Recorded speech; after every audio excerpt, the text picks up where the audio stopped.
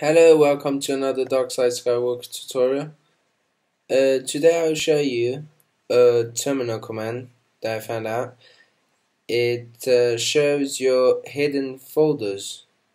You see your Mac has hidden folders so that I'll I'll show you the command that can make you see them, make them visible. Uh, you just go into terminal type in the code. I'll give it to you, but if you want to know, it's defaults write com.apple.finder AppleShowAllFiles bold true true. Don't forget that. You press enter and then you relaunch your finder. Now as you can see all your hidden files are here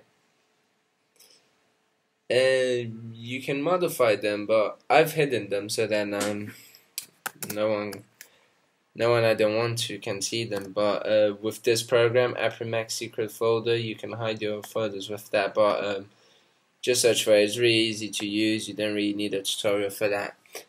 So there you go. It's a faster way to see your hidden folders.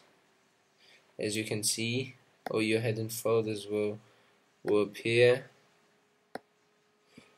and uh,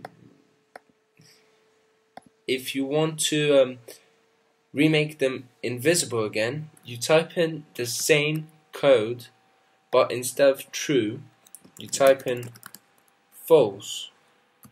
I'm sorry I typed in true false but instead of true you type in false. Press enter. Relaunch your finder